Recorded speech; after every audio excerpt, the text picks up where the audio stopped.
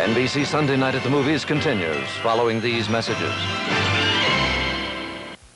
Wednesday on Highway to Heaven. Peter the fisherman from Galilee. A higher up hands Michael Landon his toughest assignment. Will it destroy his friendship with Mark? I don't know. Wednesday.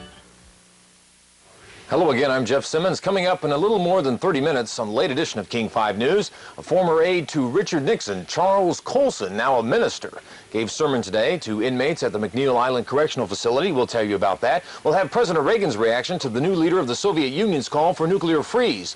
On Expanded Sports, Carlos will have highlights of the Sonics game. Tonight they played the Phoenix Suns. Join us for King 5 News tonight at 11.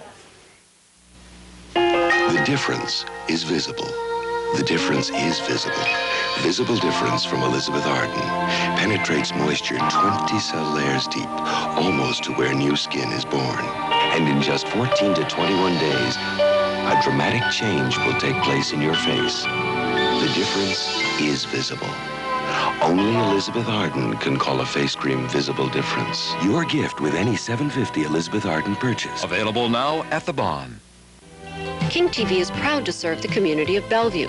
To get involved in the Bellevue community, call East King Council at 641-2418. If you spend any time at all with young children, read to them, talk with them, you can't help but feel great delight at their wonderful sense of curiosity. Not so very different, really, from the kind of curiosity that's such a part of news reporting.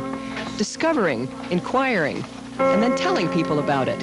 In television news, it makes every day different and very exciting. Jean Enersen and the weeknight news team. King 5 News. Donahue, weekdays at 4, just before King 5 News. You with Florence Nightingale, starring Jaclyn Smith, Timothy Dalton, Claire Bloom, and Jeremy Brett.